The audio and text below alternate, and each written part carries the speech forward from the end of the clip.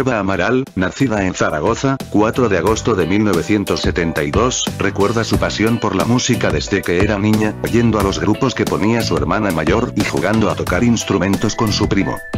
A sus padres esto no les gustaba, querían que estudiara algo serio, aunque ambos se hicieron pronto fans absolutos.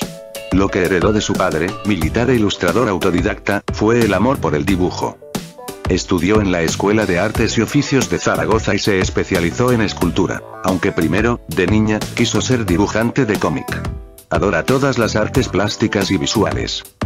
Formó parte de dos grupos. En Bandera Blanca tocaba la batería, había aprendido a tocarla sola y era malísima, ha declarado, y en Lluvia Ácida, cantaba.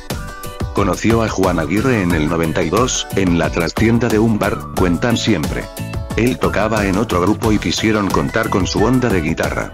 Conectaron enseguida, primero, como colegas, y luego, como pareja. Solo hicieron su primer disco como pareja. Su compenetración como amigos, como banda, casi como hermanos, se comió al amor, así que el proceso fue natural.